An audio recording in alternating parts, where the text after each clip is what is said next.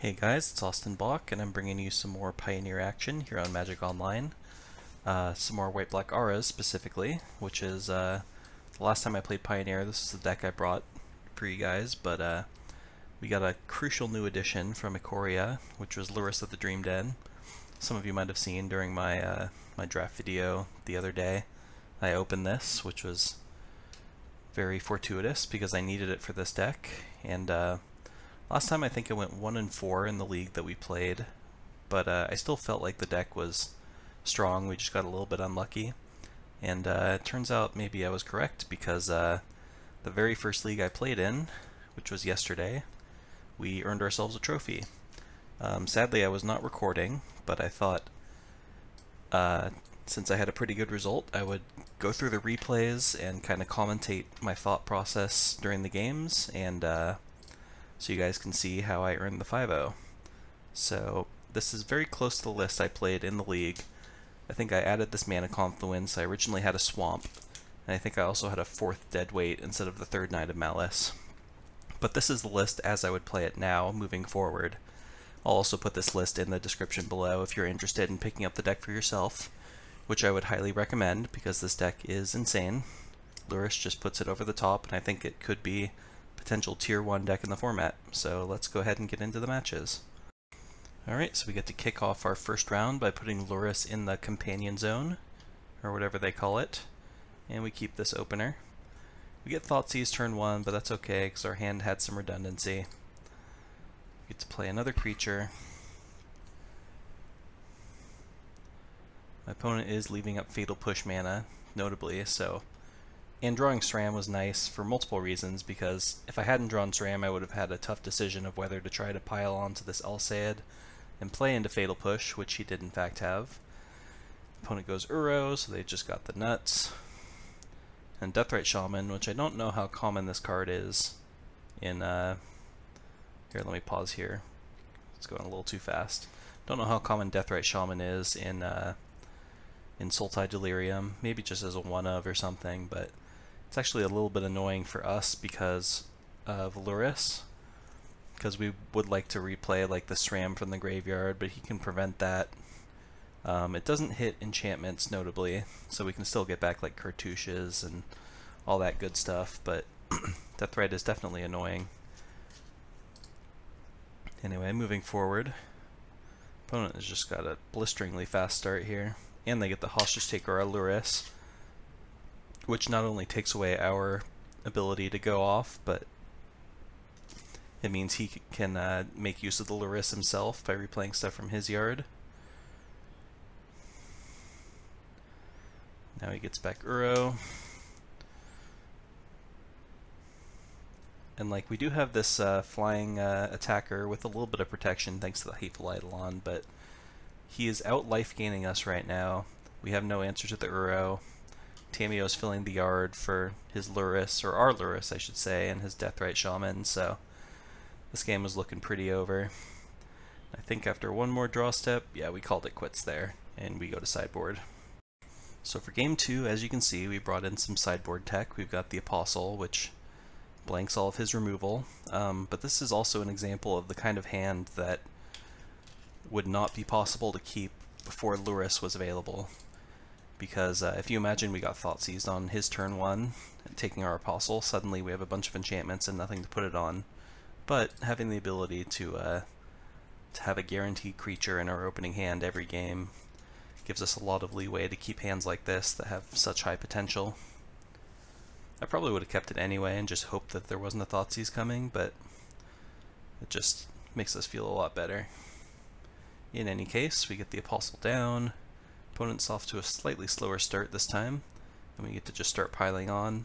I usually like to start with cartouches, just because there is sometimes a case where you want to put enchantments on your warriors. But in this case, it's probably not going to end up being a problem because we can just pile onto this apostle.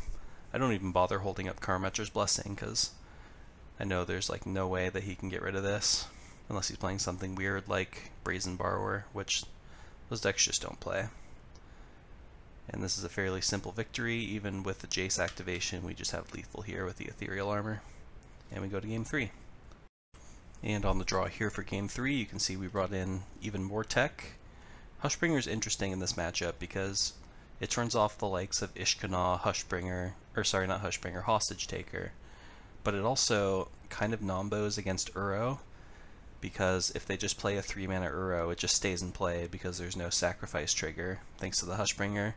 So it's kind of a it's kind of a give and take, but I think it's still worth playing because they have so many so many annoying ETB triggers that we want to turn off.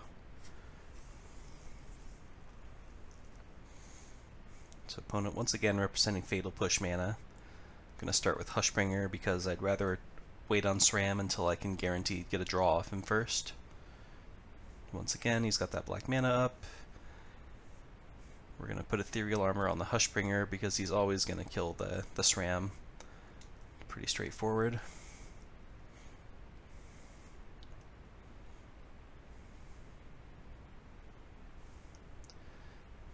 Now we've got this Hushbringer slightly protected. We're going to go ahead and drop the Lurrus, which we can't protect right now, but it's still worth playing out. It's going to drop Nissa. So I think he probably misplayed this here, because he wanted to play, uh, let me pause it once again. He wanted to play out the Jace. He had the mana to do everything, but I think what he probably should have done is just animated a Blooming Marsh and then post-combat minus Jace to Fatal Push the Lurrus. Or you know what, he actually couldn't do that. So never mind. He could Fatal Push the Hushbringer, but we could protect it, so disregard everything I just said. So anyway, we play Sram from the yard, and we're going to go ahead and use a pump spell. So I need to pause again, because that was actually a pretty interesting turn. Because I had to be very careful here. I was able to use the pump spell to kill Nissa, but I still have to be worried about Jace flashing back Fatal Push in the future. And I had the option there of playing Apostle and holding up mana, but obviously that would let him uh, keep the Nissa going. So I just had to basically hope that we get to untap with a reasonable board here. He doesn't get to do too much to mess with us. We still have the Blessing up, um, so I was pretty much planning to lose this Sram, but he at least got some value. And we could just get him back with the Lurrus, which is what part of why Lurrus is so insane. Even a string of removal here. Okay, let's pause once again, because my opponent cast Traverse the Ulvenwald there and got Hostage Taker, which I don't know if they realized that it would do nothing against Hushbringer, but as you can see, they're going to play it here. and now they're going to traverse for Murderous Rider, which we'll have to keep in mind moving forward. Okay, once again I need to pause. So I decided to kill off the Jace there, even though he has another Jace here, just because I didn't want him to be able to go like minus three to get like a traverse or whatever, and then just get basically just get an extra activation out of the Jace. But now we have the Apostle in play, and we've got the mana open to prevent this Jace from getting anything back that we don't want him to have. So I'm hoping to be able to hold up as much mana as possible for the rest of the game. So he tries to kill off Lurrus, but we protect it with Blessing. And crucially, he didn't have double black after that, so he wasn't able to play a second removal spell, which was lucky for us. There's Tamiyo. I don't know what... Oh, she named uh, Ritual of Soot. So let me pause again here. So yeah, I ended up getting a little bit lucky here because Ritual of Soot would have wiped my board, but we drew Cartouche into Ethereal Armor, which was exactly lethal. So yeah, rather be lucky than good. And that's exactly 12. Could have made it more, of course, by playing the Eidolon, but we didn't need to.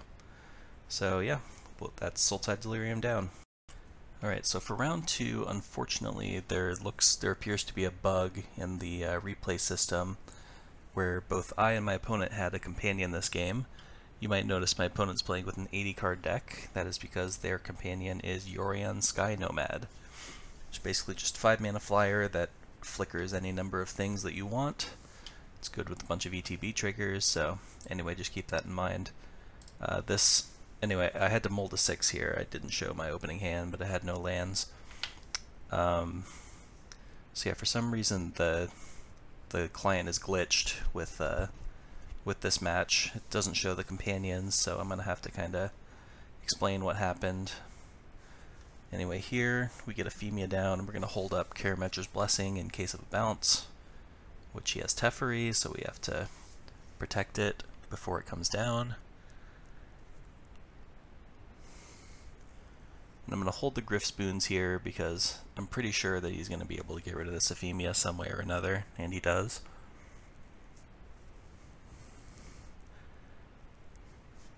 And here I actually play the Lurrus and then put Ethereal Armor on it, but for some reason the client is glitched out here, so... Place Heliod, and then I just load up onto the Lurrus.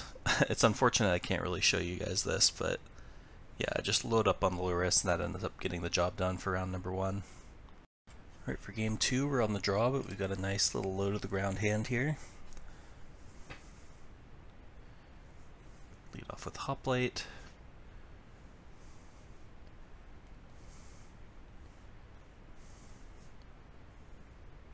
Here we just drop SRAM, anticipating to uh, try to go to town next turn but unfortunately we get our SRAM removed so we just gotta pile on as much as we can.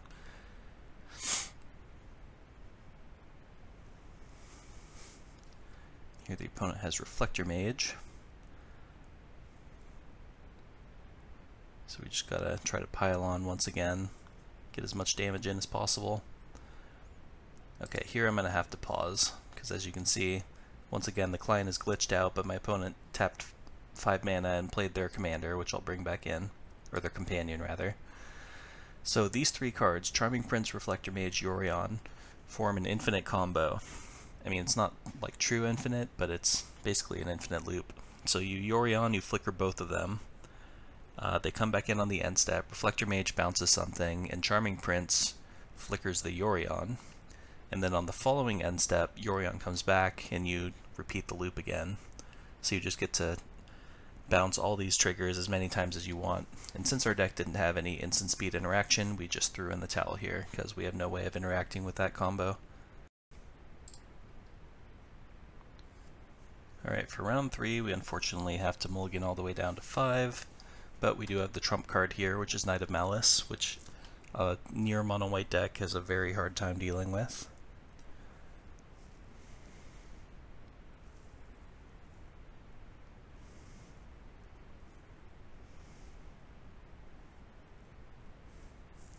Here I think I just decided to drop two more creatures rather than start all his glittering.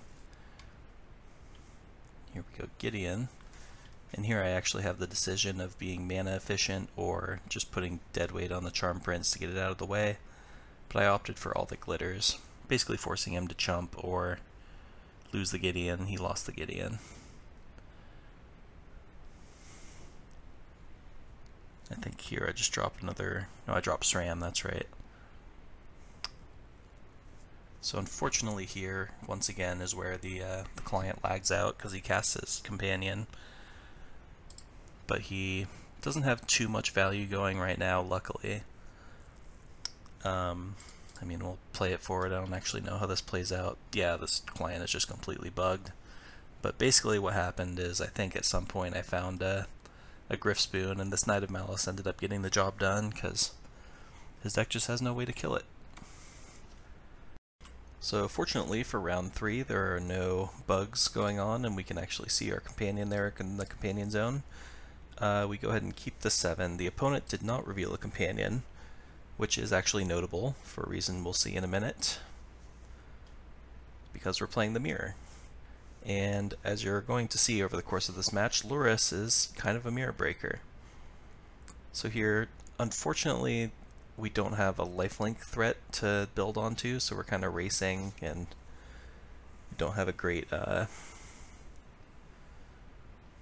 you know, we don't have a way to recoup our life at the moment, but we do have the Lurrus, we have these Alseids. Um, but the real problem here is that the opponent has a SRAM, which we do not have. And when I say Lurrus is the, the mirror breaker, I should actually say that SRAM is the true mirror breaker because whoever has it basically wins and just starts to snowball with more and more enchantments and digs deeper into the deck. Here I think the opponent kind of messes up because they should, uh, pause here because this is actually a crucial interaction. Uh, the opponent should have just piled more onto this Alseid and kept protecting it. I have no way to get rid of it, and putting it, putting something on a favored hoplite doesn't actually do anything because of the interaction between Lurrus and Alseid of Life's Bounty. We can just basically infinitely chump. We can like here I think we blocked with our warrior token and then sacrifice the Alseid to give it pro white. And then because of Lurrus, we can just get back the Alseid and rinse repeat the next turn and that will come into play later on. And here, yeah, I decided to put Ethereal Armor on the Alseid because I recognize that I need to start recouping some of our life loss here. But the opponent is just really going off here with this Alseid. They don't attack here, but it doesn't really matter because I just have no way of getting through that. Like, Alseid can give something pro-white but we have no way to grow that creature because once you give something pro white, all the auras fall off of it. So yeah, pretty much once they have a big giant flying lifelink monster like this, it's really going to be hard for you to to get back into the game. So we go to sideboard. Alright, so we keep this on the play. It's not like a stellar hand, but we do have a, a, a little minor engine going here. And one one thing in the mirror you have to be careful of is Glare of Heresy. So I was pretty much just crossing my fingers that he didn't have it. But luckily he didn't, he just has his own monster. But here, as you'll see, um, he has a bigger creature than me for the moment, but mine flies and it has lifelink, so this is going to be a pretty easy, pretty easy race to win. Yeah, here he just, he can hit me for 13 if he wants to, but then I just hit him back for lethal. And then on the draw for game number three, we've got an excellent hand. We can kill his first threat. We have SRAM. Those are the two key things, basically, to winning the mirror.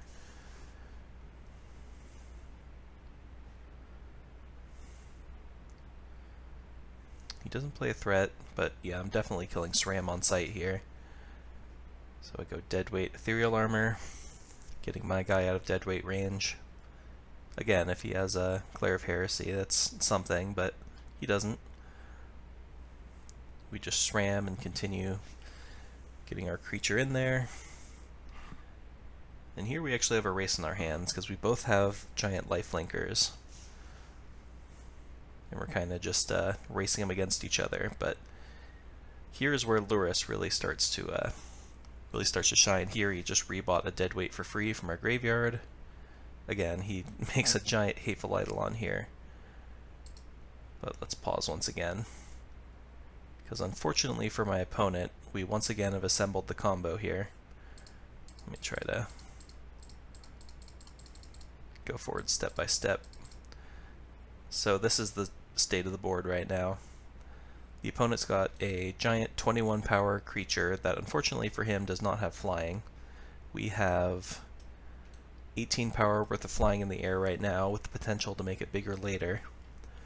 Um, and our opponent, unless they find a way to give the Hateful Eidolon flying this turn, like a Gryff's Boon, they are not going to be able to get through our Alseid, because we can just block with SRAM, and then sack Alseid to give SRAM Pro Black, and then get back the Alseid, do the same thing again, so this Hateful Eidolon basically can never get through. And that is going to matter here. They play another Hateful Eidolon, they attack, I give my SRAM Pro Black to prevent lifelink. I could have also just blocked with the all Alseid and sacked it to name anything. And here we just end up having lethal in the air for 20. So yeah, that's just a good example of why Lurrus is so insane, and kind of a mirror breaker. Alright, round 4, we've got a fine little hand here. We are on the draw, and looks like we're up against artifacts. Yep, indeed, blue-red. And they can have some scary starts but if we're able to protect a threat, especially a lifelink threat, it's usually pretty hard for them to race.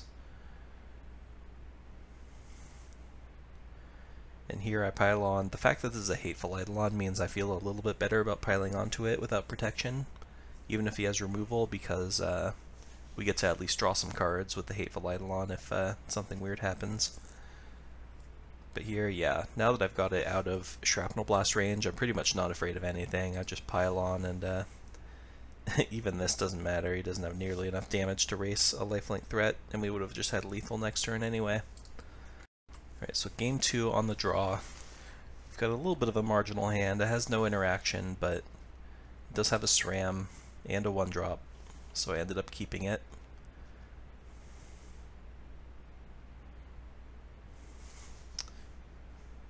But unfortunately for us, the opponent has the fastest start possible, and that Ginger Brute is going to be really hard to, to handle because he can basically make it unblockable.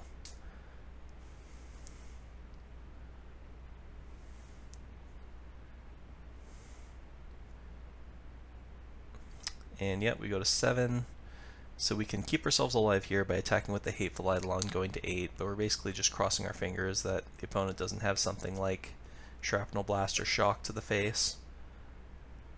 Crossing our fingers. Please don't do it to us, and he does it to us. so we die on turn 4, but honestly I think we would have killed him. 3, 4, 5, 6, 7, 8, 9, 10, 11. Yeah, pretty much any enchantment would have won us the game there, or another Karametra's Blessing, so even though we died on turn 4, it was actually uh, kind of funny that we could have uh, could have maybe killed him on his turn on our turn 4 but that's the way fast formats go sometimes.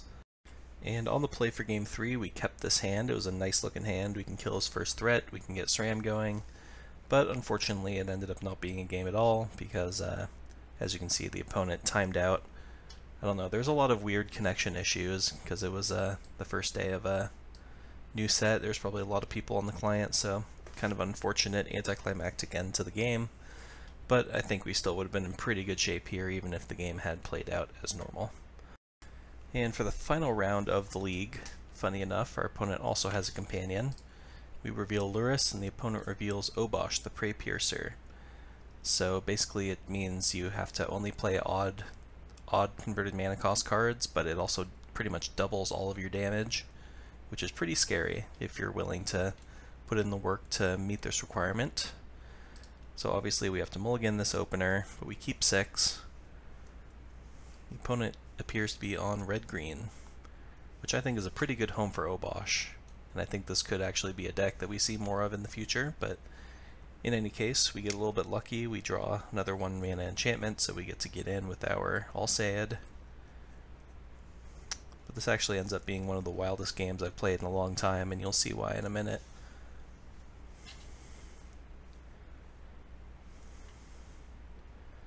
Get yet another All That Glitters. He just has to chump block. So the opponent, okay, I need to pause here and explain a little crucial interaction here. The opponent has the Great Henge active, played it on turn 3 actually, which is pretty impressive. Um, so that means that they're basically going to have an endless stream of card selection. And they just played a Klothys, which has a bunch of text, but the main thing is that it's got indestructible which means that he can just block this Alseid for days. I'm going to gain a bunch of life, but he's not going to be taking lethal damage or losing any creatures. So pretty much all I need to do this game is to draw a either another Alseid, so I can name Pro Green and get in, or a Gryff's Boon, just to send it to the air, and it will be lethal. Just explaining that now in context of what ends up happening this game, which is pretty hilarious.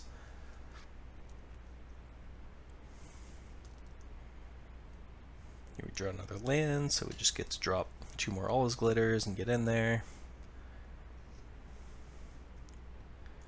And I'm not really scared of him being able to kill a 26-26. Green-red is usually not that great about killing creatures that are bigger than their own creatures. So I pretty much have all the time in the world here. So I just end up chumping to save myself some damage. Gain a bunch of life, play the Lurrus, just because I can, got nothing else going on.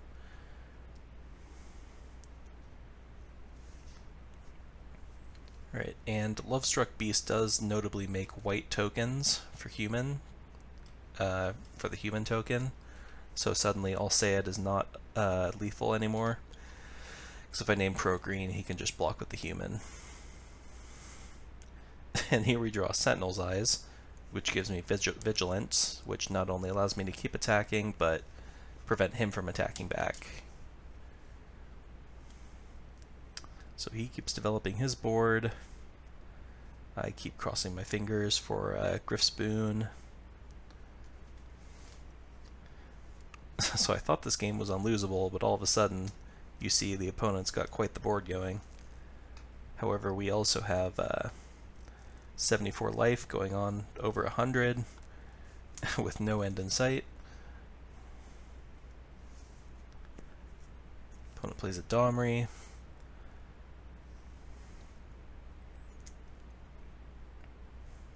Till we make our guy even bigger. Continue growing our life total. So this is the crucial turn here. I actually messed up here. I ended up attacking, but what I failed to realize was that Rhonas has Death Touch. I always forget this because it's such a random ability on such a big indestructible creature. But he does have Death Touch, so even though I have First Strike, he can just block, it's indestructible, and then Death Touch kills it. I do have the Karametra's Blessing, so I, I kind of got to pretend I knew about that and didn't make a mistake, but unfortunately he also has this Domri, which can make the Rhonas fight, which he ends up doing. I lose my guy, and even though I'm at 232 life, uh, I'm going to end up dying to this board, and I have no way of threatening his life total, so I threw in the towel. On the play for game two, and one thing I will note, oh, a couple things to note about this hand. One is that I brought in all of my dead weights, and uh, the reason for that is one of the weird quirks about Obosh. Obviously, you can only have odd converted mana cost cards, so this deck really relies on their mana elves to get from 1 to 3, because they have no 2 drops, obviously. So dead weight on an elf can really slow them down by multiple turns. So I ended up bringing in all my dead weights, even on the play, um, which I might not do against a normal red-green deck, just for that reason in particular. Um, I also kept this, even though this hand is an auto mulligan in the old version of the deck, but thanks to Lurrus is actually a keep, because like I said, we just get a free creature in our opening hand. So yeah, that's uh, context for you guys, and let's get this match started, or this game started, I should say. Kind of hoping he plays an elf here, which of course he does. So we just kill it. And yeah, the opponent cannot do anything here. But they do have Bone Crusher Giant off the top, which is relevant. But fortunately for us, we start drawing some creatures. And we can just create a giant Favored Hoplite, which is going to be pretty hard for the opponent to kill, especially once we have protection from it, or for it. And I actually end up splitting the difference here, making two giant threats in case of a scenario like we had before, where the opponent is able to infinitely block with a with a stupid indestructible uh, creature. So yeah, on to game three. So we've got another nice opener here. Unfortunately, this game's a little bit anticlimactic because the opponent ended up mulling to 5 on the play. And once we kill that uh, Llanowar Elves, it's pretty much GG.